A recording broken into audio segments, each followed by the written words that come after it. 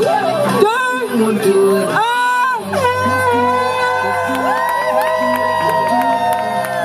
Plus de 1000 personnes sont réunies dans le Vieux-Port de Montréal pour participer à la course pour les femmes Pharmaprix Aimez-vous, un événement qui a permis d'amasser plus de 180 000 qui sera versé à la Fondation de l'Hôpital général de Montréal.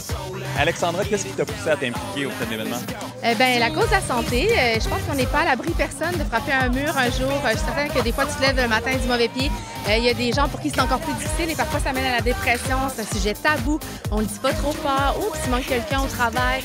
Là, il est en dépression. Puis, ça peut, c'est tellement quelque chose qui peut frapper même les plus optimistes, même les plus forts. Et, euh, et la campagne euh, hashtag Pharmaprix euh, Aimez-vous, elle met vraiment euh, surtout la santé des femmes à, à l'avant-plan. Elle n'exclut personne, mais elle met celle des femmes à l'avant-plan qui souvent s'en mettent beaucoup, beaucoup sur les épaules.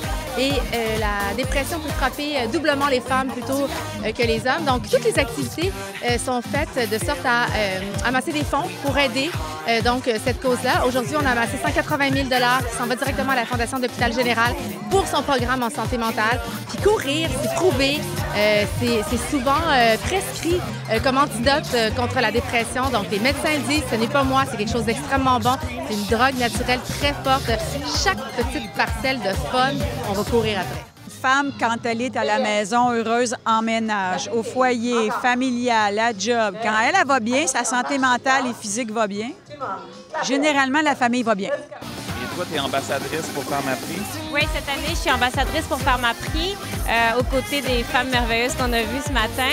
Euh, je vais faire un gala plus tard dans l'année euh, où les fonds vont pour la Fondation du cancer du sein parce que c'est une cause qui me touche particulièrement. Mais justement, à travers l'expérience du cancer que j'ai eu il y a quelques années, j'ai traversé une dépression, chose que je pensais jamais euh, traverser dans ma vie. Personne n'est à l'abri. Non, personne est à l'abri. Donc, euh, aujourd'hui, c'est aussi quelque chose de très important pour moi qui, qui touche à. En fait, finalement, toutes les causes que Pharmaprix va aborder cette année, c'est des choses qui, des, des causes qui touchent vraiment toutes les femmes.